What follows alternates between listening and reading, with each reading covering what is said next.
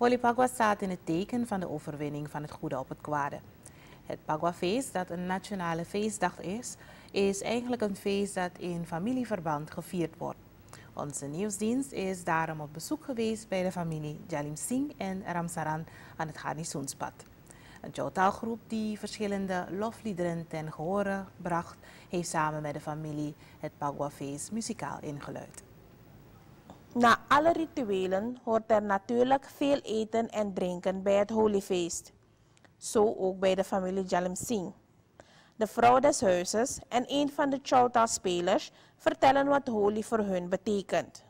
Pagwa, Pagwa betekent samen zijn en samen Holy vieren met, met een ieder samen, heel Surinaamse gemeenschap. En overwinning van het goede op het kwade. Pagwa betekent uh, overwinningsfeest, lentefeest. Uh, overwinning, uh, daarmee overwinning van het goede op het kwade. En vreugde, liefde, respect, eer naar elkaar toe. Dat is Pagwa voor ons. Het wordt gespeeld met verschillende kleuren en dat geeft ook vreugde aan en ja, kleurvol. Dat.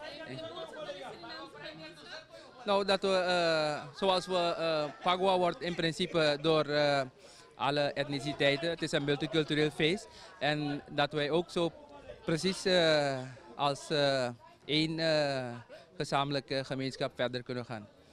Onze nieuwsdienst is ook bij de familie Ramsaran op bezoek geweest.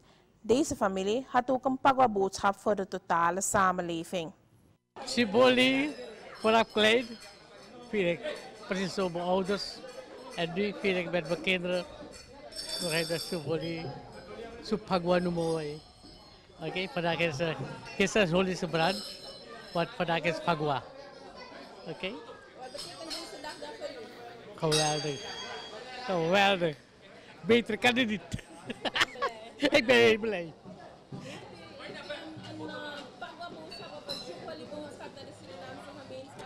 Iedereen moet genieten vandaag.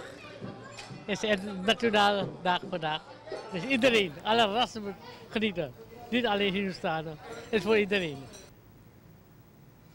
Het Pagwa-feest staat in het teken van de overwinning van het goede op het kwade. Dit feest wordt vaak in familieverband gevierd. Onze nieuwsdienst is daarom ook op bezoek geweest bij families Jalim Singh en Ramsaran. De families hebben het Holyfeest met Chowtaal groepen gevierd.